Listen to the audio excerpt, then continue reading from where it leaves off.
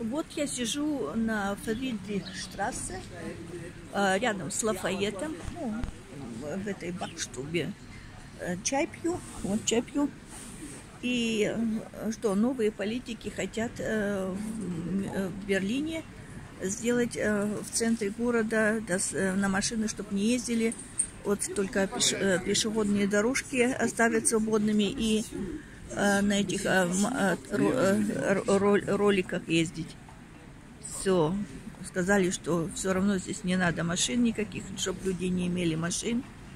Все, типа того, что социальное э, все дорого, соци, социальные люди будут в Берлине жить, да.